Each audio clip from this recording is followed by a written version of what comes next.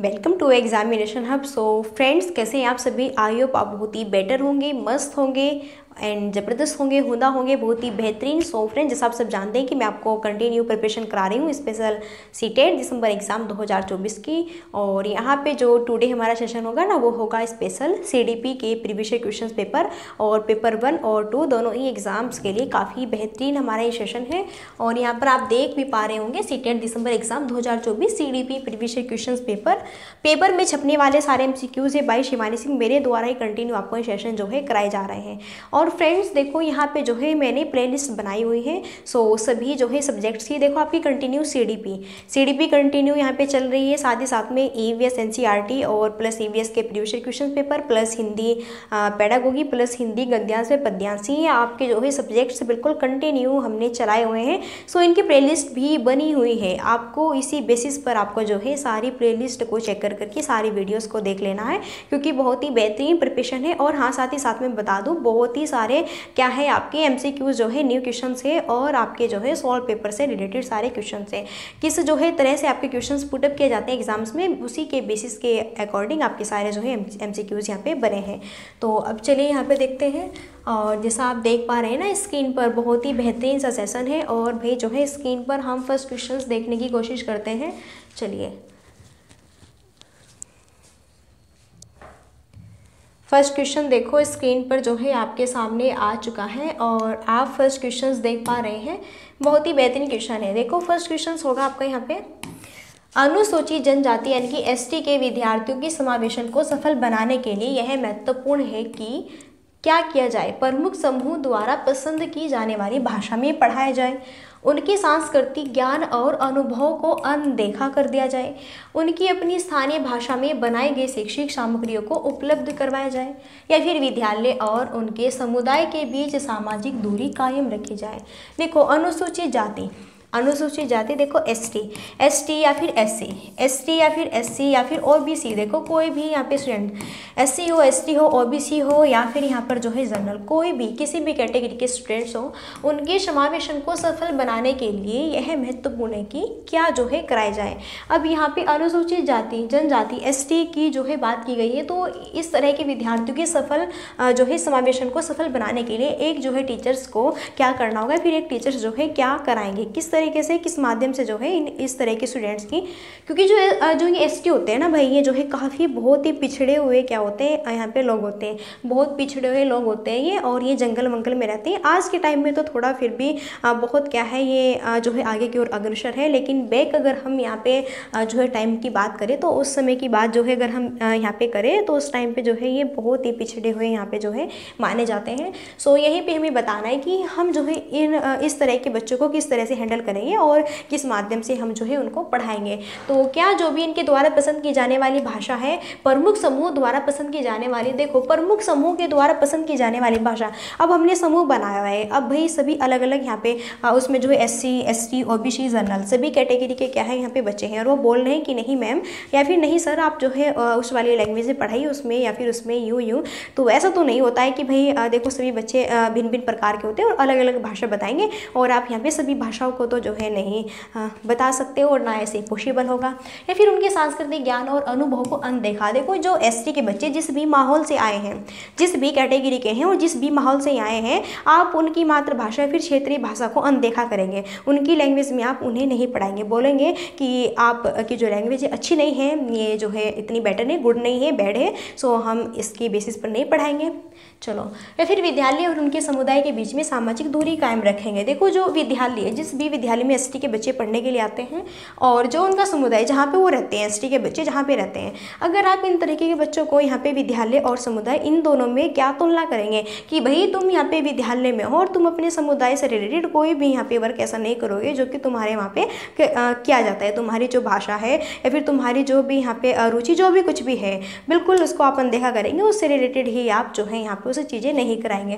क्या है? बिल्कुल गलत है। जबकि हमें क्या कराना चाहिए? उनकी अपनी स्थानीय भाषा में बनाई गई। शैक्षिक सामग्रियों को उपलब्ध करवाया जाए। बिल्कुल देखो एसटी हो या फिर एस हो ओबीसी हो या फिर जनरल हो, कहीं के भी किसी भी जो है कैटेगरी के बच्चे हैं, जिस भी जो है कैटेगरी से हैं वो या फिर किसी भी जो है माध्यम से आए हैं या फिर जो है बैकग्राउंड का कुछ भी आर्थिक स्थिति, व्यवसाय या फिर भाई सारी चीज़ें यहाँ पे जो है उनका जो यहाँ पे बैकग्राउंड है, कितना भी यहाँ पे जो है आपका लो हो, लेकिन हमें जो है उसके ही थ्रू पढ़ाना है। अब वो जो एसटी के बच्चे हैं, अपने जिस भी समूह से आए हैं, जिस भी समुदाय से आए हैं, जो भी उनकी क्षेत्रीय भाषा है, जो भी धर्म है उनका, जो क्षेत्रीय भाषा है जिस भी मातृभाषा का वो यूज़ करते हैं, जैसी बोली वो बोलते हैं, हम बिल्कुल उसी को बेस बनाकर हम पढ़ाएँगे और उसको हम इंपॉर्टेंस भी देंगे और साथ ही साथ में उन बच्चों पर हम बहुत ध्यान भी क्रिएट करेंगे और उनके साथ में हम बिल्कुल पॉजिटिव व्यवहार करेंगे, जिससे कि वो विद्यालय में आकर ये फील न करें कि हम अनुसूचित जनजाति के जो हैं, यहाँ पे बच्चे हैं तो इसलिए हमारे साथ में भेदभाव किया जा रहा है। इस तरह का बिल्कुल आपको कुछ भी यहाँ पे जो है ऑप्शंस नहीं अपनाना है। तो बिल्कुल सी ऑप्शंस क्या होगा? बेटर होगा। और भाई आप समझ भी जो है पा गए होंगे। चलो नेक्स्ट देखो स्क्रीन पर क्वेश्चन डिसलेक्सिया से ग्रसित विद्यार्थी। देखो डिसलेक्सिया क्या होता है? डिसलेक्सिया जो है डिसलेक्सिया से ग्रसित विद्यार्थी। अब डिसलेक्सिया हम किसे कहते हैं? डिसलेक्सिया वो होता है जिसको पढ़ने में क्या होती है? त्रुटि होती है। क्या होती है? पढ़ने में या फिर कुछ भी लिखा हुआ है, उसको पढ़ने में क्या होती है? त्रुटि होती है। वो क्या है? डिसलेक्सिया यहाँ पे होता है। लंबी निबंध लिखने के लिए बहुत उत्सुक होते हैं, नहीं। बहुत विकसित शब्दावली का प्रयोग करते हैं। पठन सामग्री को बहुत आसानी से समझते हैं, नहीं। पढ़ने के लिए अनिच्छुक होते हैं, यानी कि पढ़ नहीं पाते। पढ़ने के लिए क्या होते हैं? अनिच्छुक होते हैं। डिसलेक्स से ग्रसित विद्यार्थी वो होते हैं कि जो भी लिखा हुआ है, उसे सही तरीके से नहीं पढ़ पाते हैं। मानो कि मैंने लिखा हुआ है क्या बोझ? यहाँ पे लिखा हुआ है बोझ, लेकिन बच्चा इसको क्या पढ़ रहा है? सा पढ़ रहा है। उसका अपोजिट कर दे रहा है।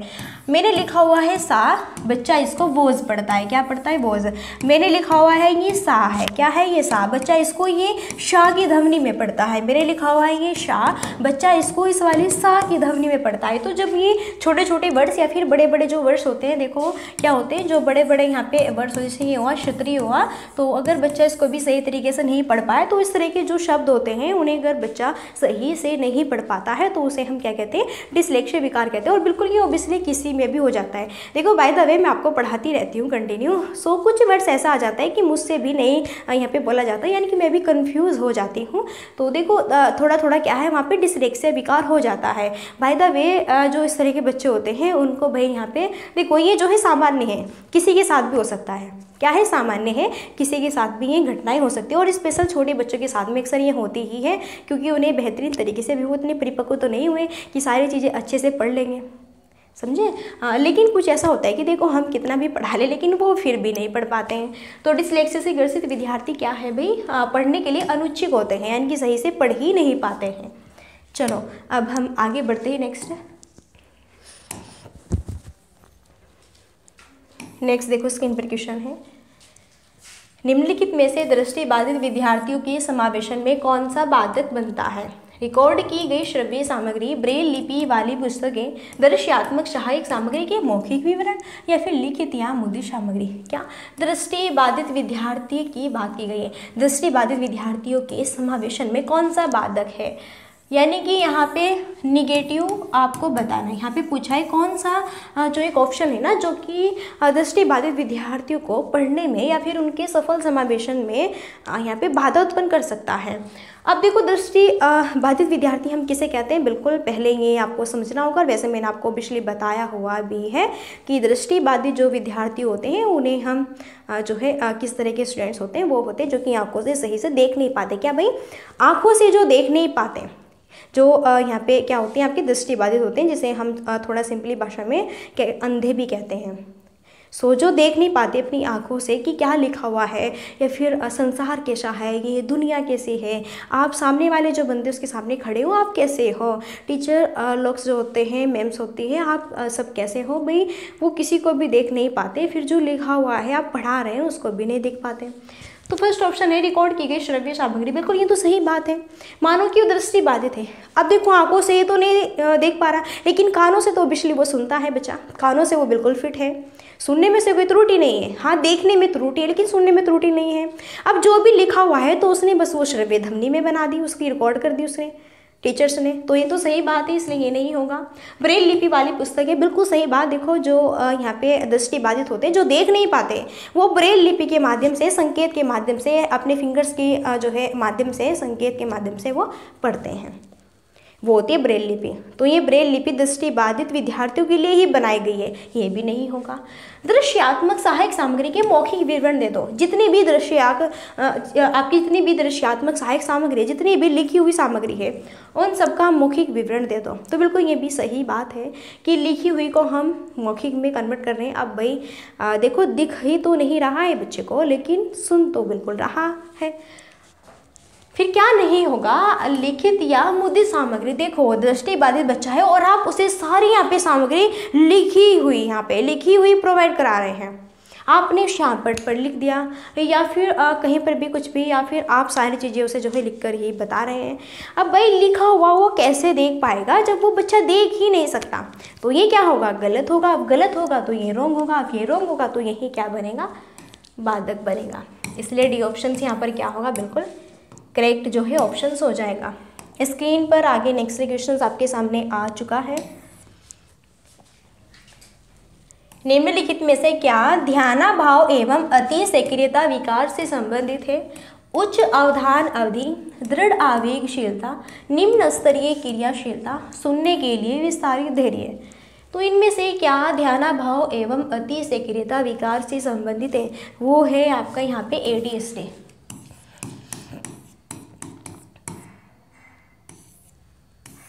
ये जो है ना ये है आपका क्या? ए डी एच डी क्या है ए डी एस डी की बात यहाँ पे की गई है? ध्यान अभाव एवं अति सक्रियता विकार ए डी एस डी जिसे हम कहते हैं। तो इस तरह के जो बच्चे होते हैं ना, वो देखो किस टाइप्स के होते हैं। उच्च अवधान अवधि नहीं रखते हैं, निम्न स्तरीय क्रियाशीलता नहीं, भाई सुनने के लिए विस्तारित धैर्य नहीं। वो तो सही तरीके से किसी की बात को धैर्यपूर्वक सुन भी नहीं पाते, क्योंकि वो उतना ध्यान ही नहीं लगा पाते। वो होते हैं जो दृढ़ आवेगशील होते हैं। क्या होते हैं? दृढ़ आवेगशील होते हैं। यानी कि जिसको सुनने में भी क्या होती धैर्यता नहीं है, सुनने के सुनने के प्रति भी धैर्यता नहीं है। अपने आप में खोए रहते हैं, बहुत जल्दबाजी में कार्य करते हैं। क्या करते हैं? बहुत ही जल्दबाजी में कार्य करते हैं उलट पुलट कार्य करते हैं, वो भी जल्दबाजी में करते हैं। सही से एक दूसरे के साथ में विचार विमर्श, संप्रेक्षण भी नहीं कर पाते, उसमें भी थोड़ा हिचकिचाते हैं, बोलने में भी हिचकिचाते हैं। मानो कि देखो दो चार बंदे हैं और हमने बोला कि इनके साथ में सही से संप्रेक्षण कीजिए विचार विमर्श कीजिए तो वो भी सही से नहीं कर पाते उनके साथ भी बोलने में क्या करते हैं वो हिचकिचाते हैं। इस टाइप्स के जो बच्चे होते हैं और जिसका उच्च अवधान अवधि नहीं होता है क्या अवधान ध्यान नहीं लगा पाते बहुत ही आ, क्या कहते हैं ना थोड़ा ड्रामने से टाइप्स के होते हैं और आ, जो है आ, हर जो है स्टेज में कमी सी महसूस करते हैं हर स्टेज में। तो इस तरह के जो बच्चे होते हैं वो ए जिसे घर्षित होते हैं वो होते हैं दृढ़ आवेगशीलता। तो इस कैटेगरी में आएँगे। तो आई होप आप समझ भी गए होंगे। देखो, मैंने सिंपली भाषा में बताया और हाँ ये किसी को भी हो सकता है और ये बचपन से ही स्टार्ट हो जाता है। बचपन से ही ये स्टार्ट हो जाता है। प्रतिभाशाली बच्चों की एक प्रमुख विशेषता क्या है? उच्च स्तर की बौद्धिक क्षमता, रचनात्मकता की कमी है, बाध्य संप्रेक्षण कौशल है, दूसरे के विचारों को नकल करने की क्या है, प्रवृत्ति है। प्रतिभाशाली बच्चों की एक प्रमुख विशेषता क्या है? पर प्रतिभाशाली बच्चे हम किसे कहते हैं? वो होते हैं जिसका आईक्यू लेवल 140 प्लस होता है, जो गॉड गिफ्टेड स्टूडेंट्स होते हैं, जो कि बहुत परिपक्व होते हैं। अगर हमने उनके सामने कुछ भी क्वेश्चंस रखे ना तो या फिर कुछ भी प्रॉब्लम्स रखी तो उसे सॉल्व करने के प्रति बहुत ही क्या होते हैं? इच्छुक होते हैं और बहुत ही बेहतरीन तरीके से उसे सॉल्व भी करते हैं। और साथ ही साथ में अगर मैं यहाँ पर बताऊँ, इतनी बेटर होते हैं ना कि बस हम क्या ही बात करें, बहुत ही गजब टाइप्स के वो जो है स्टूडेंट्स होते हैं। सो so, यहाँ पर देखो रचनात्मकता की कमी थोड़ा है ना होती है उनके अंदर बल्कि भरपूर मात्रा में पूरी कठोरता के साथ में भरी रहती है। मानो कि आपने कुछ भी क्वेश्चन पुटअप किया तो उसे हर एक जो है भिन्न भिन्न तरीके से हर एक डायरेक्शन के थ्रू उसको वो सॉल्व करने की क्या करते हैं कोशिश करते हैं। तो बाय द वे ये तो यहाँ पर नहीं होगा। बाधित संप्रेक्षण कौशल होता है। क्या वो संप्रेक्षण करते हुए बाधित होते हैं? नहीं नहीं भाई। इस तरह के बच्चे तो संप्रेक्षण करने में बहुत ही माहिर होते हैं। और मानो कि अगला जो बंदा है उसकी बात भी समझ जाते हैं। कैच कर लेते हैं कि हाँ ये क्या चाहता है या फिर क्या इसके मन में चल रहा है। दूसरे के विचारों को नकल करने की नहीं नहीं, दूसरे के विचारों को कभी नकल नहीं करते, बल्कि दूसरे के विचारों को विपरीत होकर के उस चीज़ को अलग डायरेक्शन दे देते हैं और एक अलग ही अनुभव यहाँ पे निकालते हैं। नहीं तो सही क्या होगा? बिल्कुल उच्च स्तर की बौद्धिक क्षमता होती है। अब उनका आई क्यू लेवल 140 प्लस है तो उच्च स्तर की बौद्धिक क्षमता हुई कि नहीं हुई? हाँ बहुत ही बेटर होते हैं। गॉड गिफ्टेड जिसको हम गॉड गिफ्टेड यानी कि जिसने ईश्वर ने कोई उपहार दिया है। जैसे कि ये बहुत ही अलग से होते हैं, जैसे आपके आई होते हैं, आईएएस बनते हैं U P S C P C S ये वगैरह वगैरह बहुत ही शे वगैरह, ये बहुत ही हार्ड वाली पढ़ाई जो करते हैं ना, वो एक जो है इस तरह के स्टूडेंट्स होते हैं, क्योंकि उनका आई लेवल इतना गजब का होता है ना, जैसे ये वैज्ञानिक होते हैं, खोज करते हैं ना तो भाई देखो अब उनमें क्या है? बहुत माइंड है, भरपूर मात्रा में, पूरे माइंडेड है वो, तभी तो वो इस चीज़ को कर पा रहे हैं। अब हम क्यों ना किसी चीज़ की खोज कर दें, क्योंकि हम जो है इतने भी माइंडेड नहीं है कि हम कोई यहाँ पे खोज भी कर दें। सही है? तो बस यही यहाँ पे बताना था। चलिए समझ भी आ चुका होगा। आगे जो क्वेश्चन है, वो है अभी कथन और तर्क वाला, और बहुत ही बेहतरीन सा क्वेश्चन है। अभी कथन है और तर्क है। देखो अभिकथन और तर्क। पहले हम अभिकथन को पढ़ते हैं। एक शिक्षक को विषय वस्तु को पढ़ाने के लिए उसे संबंध से एवं संगठित तरीके से प्रस्तुत करना चाहिए। देखो, एक टीचर जब विषय वस्तु को पढ़ा रहे हैं तो उसे संबंध एवं संगठित तरीके से। मानो कि हम यहाँ पे वन टू फाइव या फिर सिक्स टू एट वाले स्टूडेंट्स को अगर हम यहाँ पे पढ़ा रहे हैं तो उसी के माध्यम से हमें पढ़ाना चाहिए। अगर हम फ़र्स्ट क्लास वालों को पढ़ा रहे हैं तो हमें उसी के माध्यम से उसी के अकॉर्डिंग वो टॉपिक्स उन्हें कराने चाहिए। सेकेंड क्लास वालों को थर्ड फोर्थ फाइव जितने भी यहाँ पे, जिस बी कैटेगरी के क्या है स्टूडेंट्स हैं? तो यहाँ पे ये बात की गई कि एक शिक्षक को विषय वस्तु को पढ़ाने के लिए उसे संबंध एवं संगठित तरीके से ही पढ़ाना चाहिए।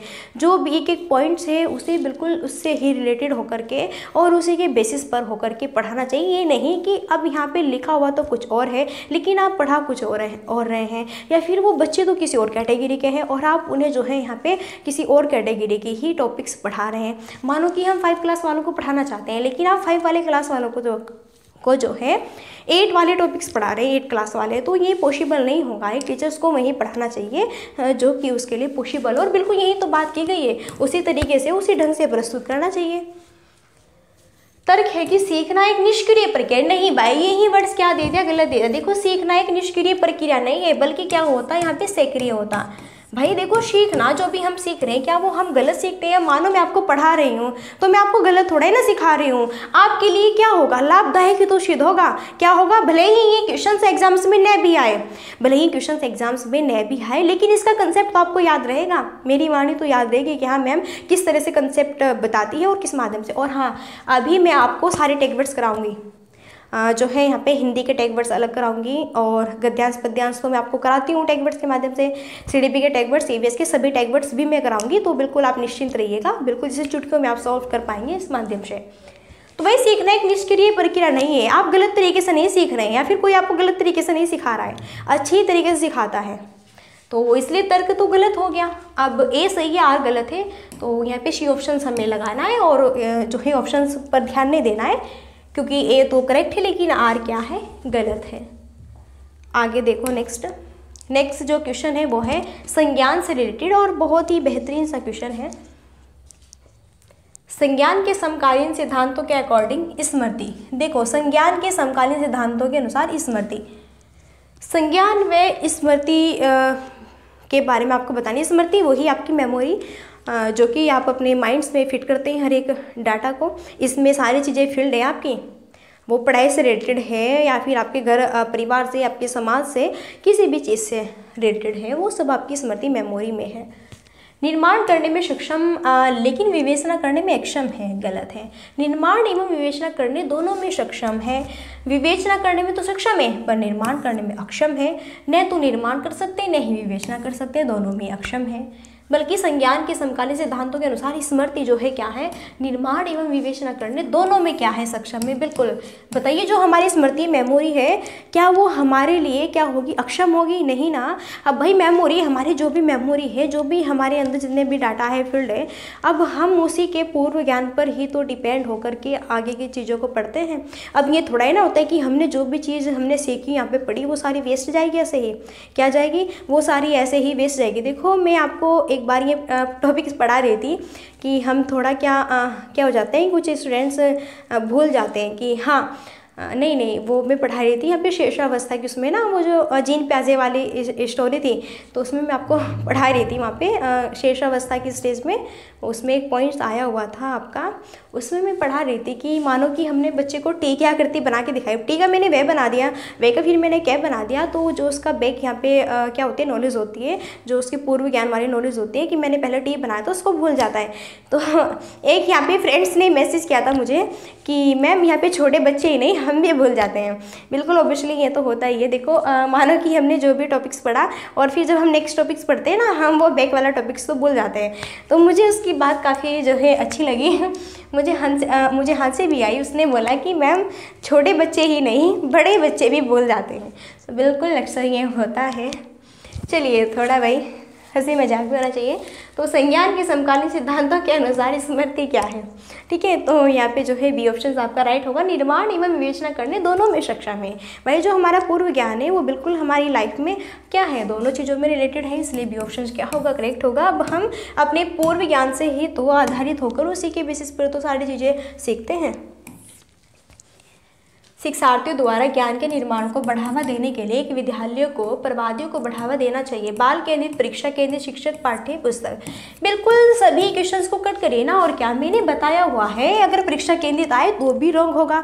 टीचर्स केंद्रित आए तो भी रॉन्ग होगा। बुक्स केंद्रित आए तो भी रॉन्ग होगा। क्या होगा यहाँ पे? चाइल्ड सेंटर बिल्कुल ही बेटर होगा। हमें बाल केंद्रित शिक्षा प्रोवाइड करानी है, और उसमें भी समावेशी शिक्षा प्रोवाइड करानी है। बाल केंद्रित शिक्षा का मीन्स होता है कि बालक को हम किसमें रखते हैं? केंद्र में रखते हैं। हैं और बालक केंद्र में होता है सो उसी के डायरेक्शन से हमें सारी चीज़ें यहाँ पर उन्हें प्रोवाइड करानी होती है। समझे? चलो, बहुत ही सिंपल क्वेश्चन था।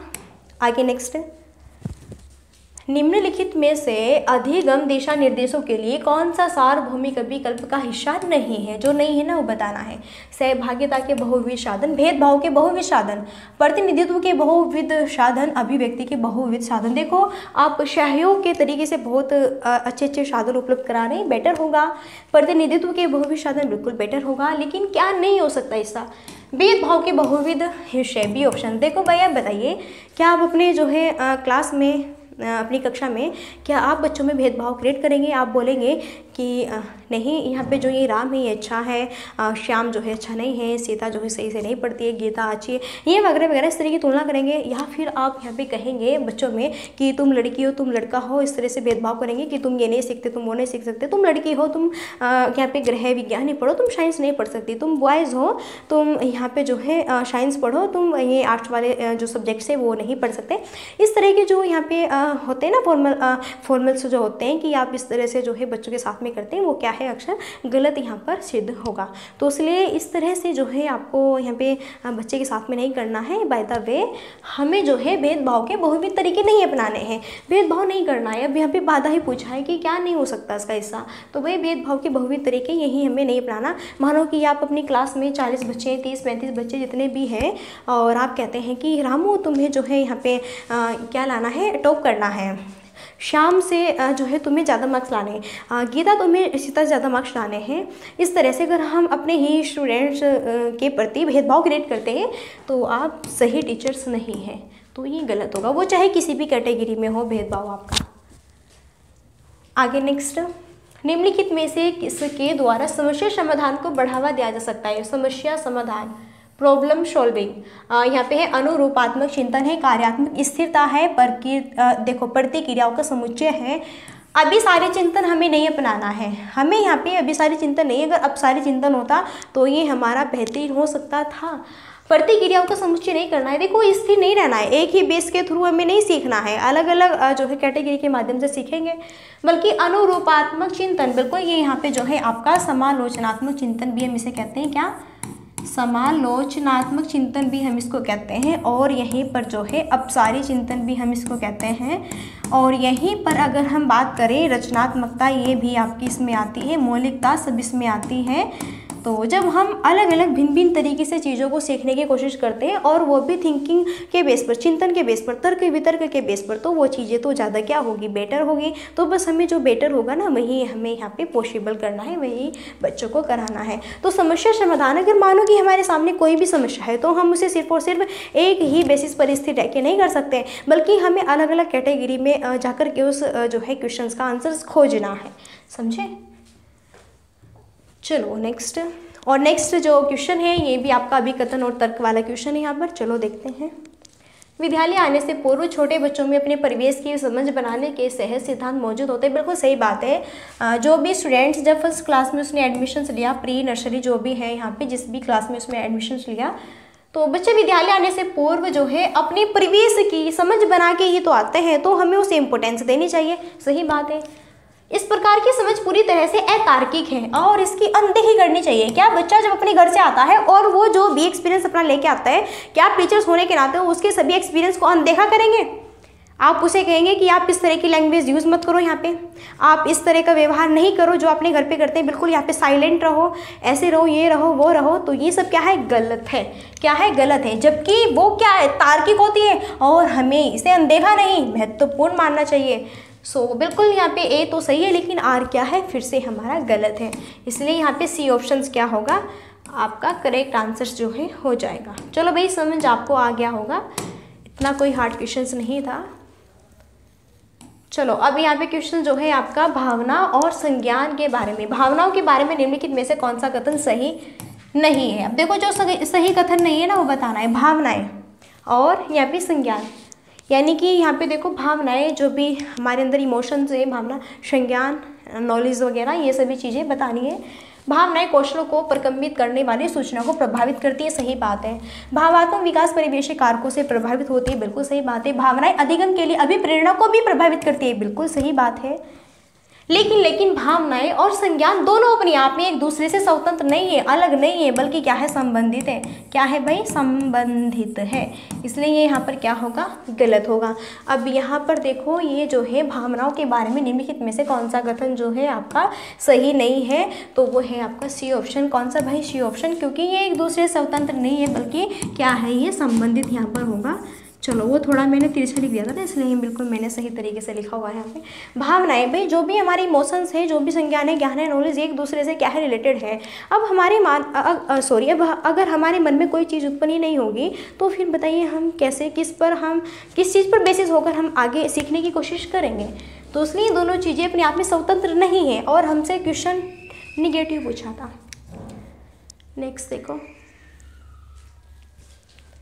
निम्नलिखित में से कौन सा आंतरिक अभिप्रेरणा का उदाहरण नहीं है? जिज्ञासा, रुचि, स्पष्टता के लिए चाहत या फिर पुरस्कार पाने के लिए प्रयास करना। देखो मोटिवेशनल जो है टू टाइप्स के होते हैं। कितने? सॉरी फ्रेंड्स एक होती है आपकी आंतरिक अभिप्रेरणा और भाई यहीं पर एक होती है आपकी बाह्य अभिप्रेरणा। जो आंतरिक अभिप्रेरणा होती है, वो तो आपकी खुद की होती है। बस एक पॉइंट समझ लो। और जो बाह्य अभिप्रेरणा होती है ना, वो दूसरे की होती है। किसकी होती है? दूसरे की होती है। बस एक एक पॉइंट समझ लो, ये टेक वर्ड्स है। यहाँ से पूछा है आंतरिक अभिप्रेरणा आंतरिक अभिप्रेरणा का एग्जाम्पल्स नहीं है। देखो, आंतरिक अभिप्रेरणा वो होती है जब हम अपने मन से जब हम अपने मन से कुछ करना चाहते हैं अब यहाँ पे हम सी टेट की बात लेते हैं। देखो मेरा खुद का मन था तभी तो मैंने यहाँ पे सी टेट का जो है आ, क्या फॉर्म फिल किया। अब सी टेट मुझे करने से पहले मैंने पहले क्या की ग्रेजुएशन की फिर उसके बाद में मैंने बी टी या फिर बी जो भी थी वो की मैंने क्योंकि मेरा पर्पज़ था सी क्वालिफाई करके आगे सुपर टेट जो है फाइनल करके जो है टीचर्स बनना। तो ये क्या है? मेरी आंतरिक अभिरुचि है, मेरी आंतरिक अभिप्रेरणा है। अब बताइए, आपको आपके फ्रेंड्स ने फोर्स नहीं किया? क्योंकि फ्रेंड्स लोग तो ये चाहते हैं कि मुझसे आगे ना निकल जाए। आप चाहोगे कि वो मुझसे आगे ना निकल जाए और वो आपको चाहेगा कि ये मुझसे आगे नहीं निकल जाए। तो आप दोनों में तो क्या है? भिन्न भिन्नताएँ हैं। तो इसलिए यहाँ पे आपको कोई भी सजेशन नहीं करेगा, सिर्फ़ और सिर्फ़ आपके पेरेंट्स के थ्रू वो तो आपको करते हैं, बिल्कुल जो है लाइफ टाइम करते हैं। लेकिन हमें ही तो करना होता है। अब आंतिक अभिप्रेरणा वही होती है जो हमारे मन में, अब हमारी रुचि है। भाई, मेरी रुचि है। मैं, कि मुझे सीटेट क्वालिफाई करना है। मेरी क्या है रुचि है? मेरी जिज्ञासा है। मेरे अंदर क्या है जिज्ञासा है? मुझे सीटेट क्वालिफाई करना है और क्वालिफाई करके मुझे फिर सुपर टेट की वैकेंसी जब आएगी, तब उसमें बैठना है।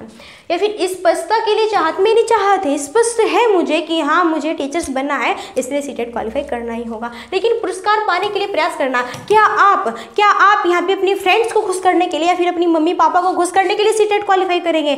बिल्कुल नहीं। देखो, ये क्या होगा, ये होगा आपका बाहरी अभिप्रेरणा का एग्ज़ाम्पल तो आंतरिक अभिप्रेरणा के एग्जाम्पल्स हमारे जिज्ञासा है, रुचि है स्पष्टता के लिए चाहते लेकिन पुरस्कार पाने के लिए प्रयास करना हाँ मानो कि आपके यहाँ पे स्कूल्स में, विद्यालय कॉलेज जहाँ पर भी है आप वहाँ पे कुछ फ़ंक्शंस हो, हो रहे हैं।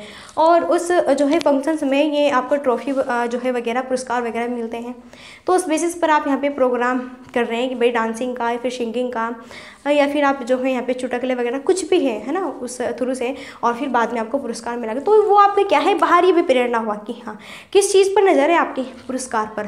किस पर? पुरस्कार पर मेडल पर या फिर पैसे पर उस चीज़ पर आपकी नज़र है तो वो आंतरिक भी प्रेरणा नहीं हुआ वो हुआ बाहरी।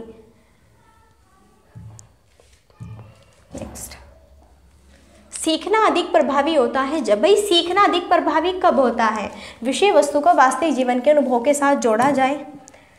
आ, देखो यहाँ पे पठन सामग्री बहुत ही जटिल अमूर्त हो या फिर असंबद्ध रूप से टुकड़ों टुकड़ों में पढ़ाया जाए नहीं।